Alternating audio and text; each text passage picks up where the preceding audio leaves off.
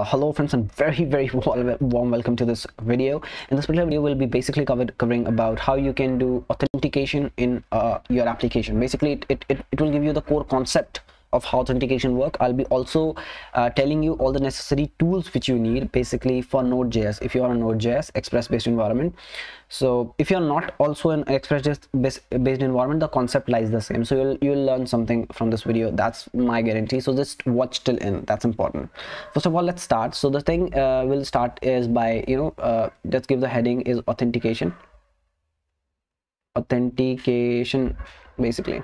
So what what what will you do? What uh, you know let's uh, you know we'll be drawing every diagram on this side and we'll be uh, doing all the will be right i will be writing on this side. So basically what happens you know in in a real world scenario you have something called server and you have something called client. What happens you know client sends a sign up request initially. Authentication always starts with the sign up okay? So the sign up process during the sign up process what happens you know uh, the user actually gives some data to the server. Now what is the data? This data is as usually name email id sign up date everything. Basically everything. So let's say you know for the data it can give you the email id this can give the name. This can give you the password password whatever the user has created okay? So that's great. Now once you have these things what's what is the next thing which happens? The next thing which ha which happens is uh, you know you simply start the sign up process in the server.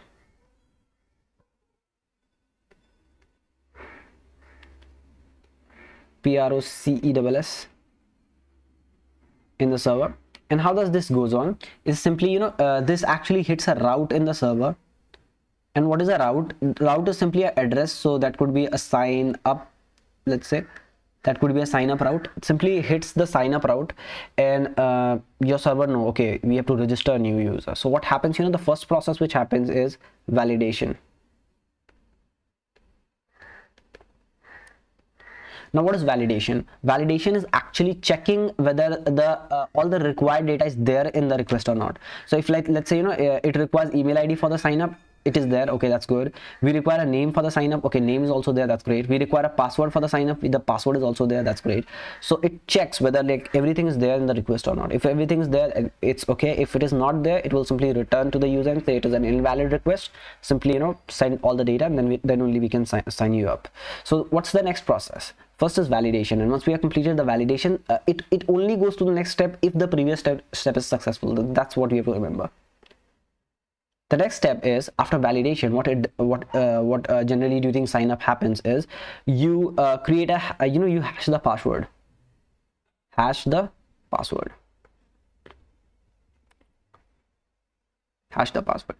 In node.js basically the hashing is done by a library called bcrypt you can search about it on google. Uh, so hashing is actually converting the password into an unreadable form uh, into an encrypted form. So that what basically helps you to protect the password from any kind of you know generally in today's modern app we do not uh, store the password directly like the plain password in the database. We hash it uh, so that you can generally you know uh, even the employees of a particular company does not know your password because it is hashed.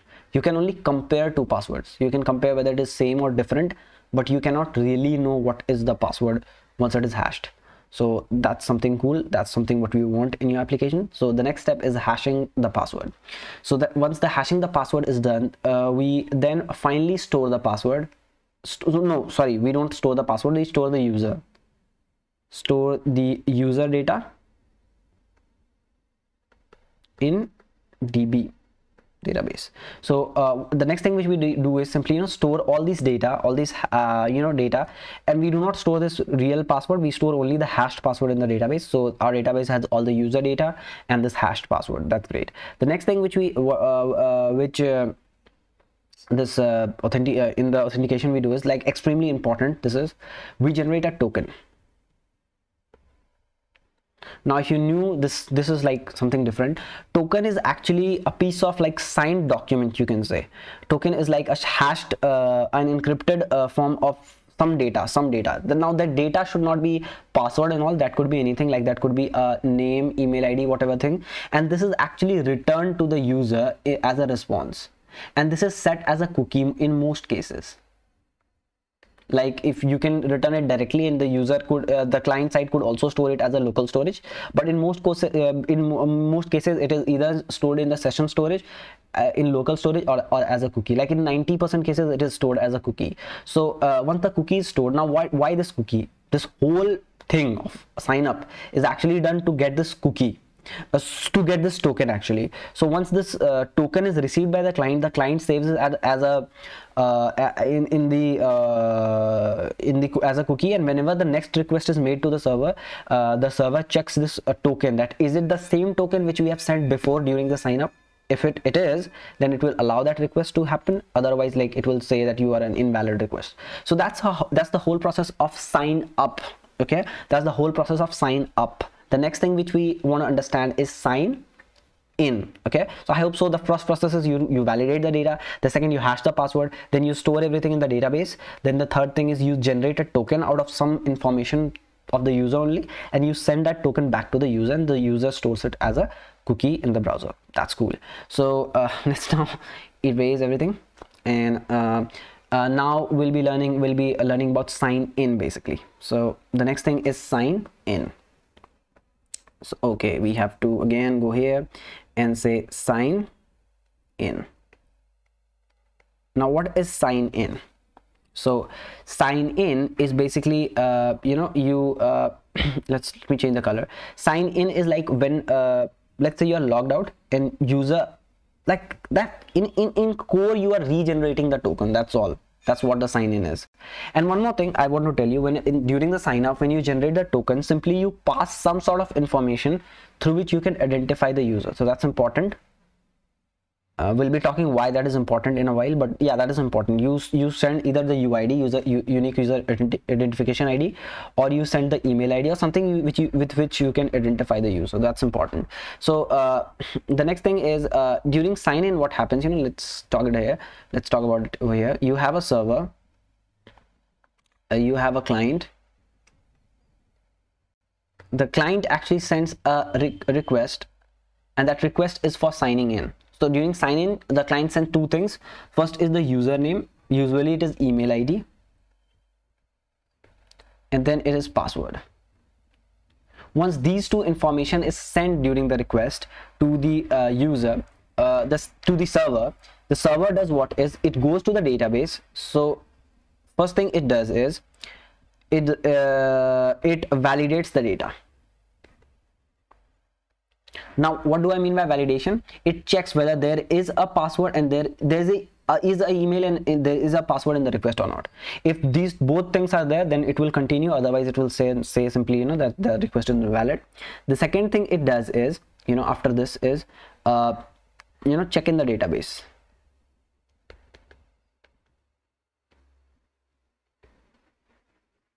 Check in the database. So basically this checks in the database whether that particular user exists or not. So it only checks that it, it exists or not that that particular email id actually exists or not. So once that is done the third thing it will do is check the password. Check the password. And let me tell you it does not know the correct password or the actual password. It just you know it takes the password from the user whatever the, the user has typed during the sign in process and it takes the password from the uh, database and only compares them. There's a tool there's the algorithm to compare them and if that comparison re results in true that is means that you know that the both of the password are same then it you know it knows that you are you are a valid user and that you know the fourth process again generates a token. So generate a token. And you know this token generation and simply sends it to the user. This token also has some expiry period by you know it will expire after two three five some some days and you have to refresh it and all. But uh, for now you can understand that that uh, during sign up process you have to generate a token. Again this is stored in the user so user does not have to again and again you know log in for, for making each and every request. So that's how sign in works. So you understood what is how the sign up works how the sign in works. The next obvious process is how like the general flow works. How how does the user know you are authenticated with the token which is there? Now what is why this token is important? Because when you like let's say you know you you logged in once and you go to some other pages. So this token is actually sent when you go to another page and make some other request this token is actually sent. You don't have to log in again and again. So what happens you know this uh, with this token? So uh, we'll be talking about token verification next. So let's say token verification.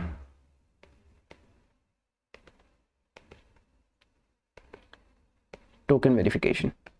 Now how does this token verification actually works? What happens you know this uh, token has some data. Token has some data. And this this data is actually this data contains all the information through which we can uniquely identify this user. So we say let's say you know this has a uid unique identification id we search in the database whether this thing is available or not. So the first step is to search in the database. Search in the db that whether this uid exists or not. The second step is very simple to validate this token that validate this this token. Basically in uh, you know in a node.js environment and basically in all environment what happens you know this token is uh, this token uh, this is called json web token okay? Jwt it is very very famous way of authentication. So what happens you know this jwt or json this this uh, token is actually signed by a password which is like the server password is like uh, you know it is it is highly confidential and you keep it very safe. And it's like really complex but uh, you should make it really complex. But uh, what happens you know you you you you just it is a key. You can think of it as a key. So you receive a token you give that key to it and then you receive the actual data. When you receive the actual data you simply uh, send it to the server and search that whether this particular person exists or not. If it exists then it verifies that whether this is same signed token which we have sent during sign up or not or during login or not. If that is it will say yes you are a validated user and it will continue the request. And let me tell you this is this all process happens at the middleware. And what is a middleware? A middleware is like user sends the request it happens and then it goes to the final request. Whatever let's say you know you you you send a request to uh, grab all the friends which you have that requires sign up right? So uh, the, it will simply go to the server it happen this all process token, token verification will happen then it will you know uh, redirect it or you it, it will simply say that simply go and fetch the user after this whole process happens. If you fail this simply it will uh, say that you are not authenticated go and log in. So that's how the authentication works. So i hope so you like this video and if you like simply subscribe the channel that would be amazing. Thank you. Have a great day and bye bye